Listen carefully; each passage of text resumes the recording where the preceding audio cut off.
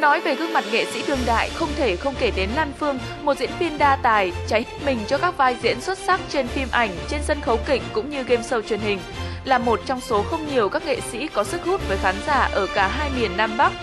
Cô thông thạo ba ngoại ngữ, đã từng đi nhiều nơi trên thế giới và là một trong những nghệ sĩ trẻ năng động tham gia rất nhiều chương trình giao lưu nghệ thuật trên thế giới.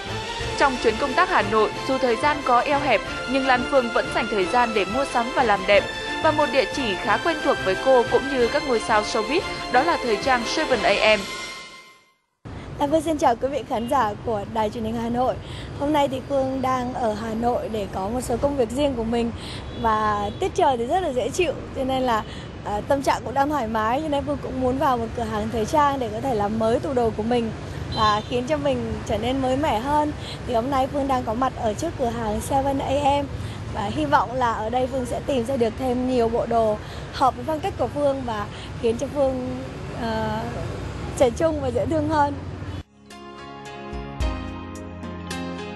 Tọa lạc trên những tuyến phố lớn sầm uất với không gian rộng và sang trọng nên khoảng thời gian shopping tại 7am đối với diễn viên Lan Phương là sự thư giãn tuyệt vời, là khoảng thời gian chăm chút cho bản thân và làm mới mình, quên đi những căng thẳng mệt mỏi trong công việc và cuộc sống thường ngày.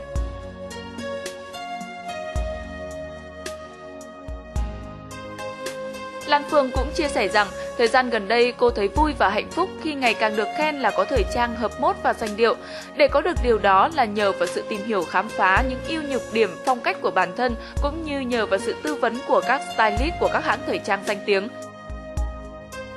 Trong chương trình này, có lẽ khán giả đã nhận ra diễn viên Lan Phương với hình ảnh khá khác biệt, với vẻ đẹp sang trọng của một quý cô yêu kiều với những bộ trang phục bộ trang phục này đã gợi cảm hứng rất lớn cho Lan Phương trong vai diễn sắp tới, cũng như phù hợp cho công việc sắp tới của Lan Phương ở châu Âu trong tiết trời còn giá lạnh. Phong cách thời trang cập nhật luôn luôn mới lạ của 7am khiến Lan Phương vô cùng phấn khích và tất nhiên cô cũng không quên lựa chọn cho mình những bộ đầm trẻ trung hợp mốt giúp cô năng động tự tin như chính tính cách của mình. Thời trang công sở vốn khá thân thuộc với diễn viên Lan Phương trong đời sống hàng ngày. Theo Lan Phương, hiếm có trang phục nào có tính ứng dụng cao như thời trang công sở. Chúng giúp che đi những nhược điểm của cơ thể mà vẫn đủ để lịch thiệp, mực thước, góp phần tạo uy tín và niềm tin trong công việc với đối tác.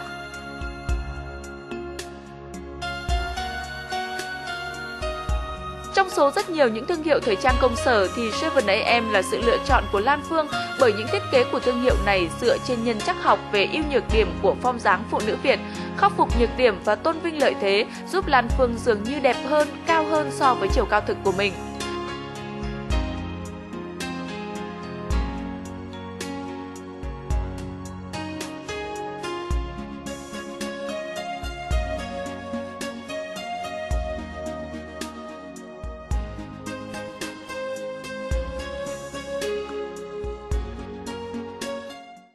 Nghĩ là trang phục của Seven Em uh, rất là hợp thời và rất là gần gũi với lại các chị em uh, phụ nữ đặc biệt là các chị em làm công sở. Uh, khiến cho uh, các chị em khi mà đi làm ở công sở thì uh, có thể khoác lên những bộ cánh nó không có bị cứng nhắc và vẫn có cái sự phong thoáng nữ tính ngọt ngào. Uh, thì phương nghĩ đó cũng là cái tiêu chí mà chị em phụ nữ văn phòng bây giờ đang hướng tới.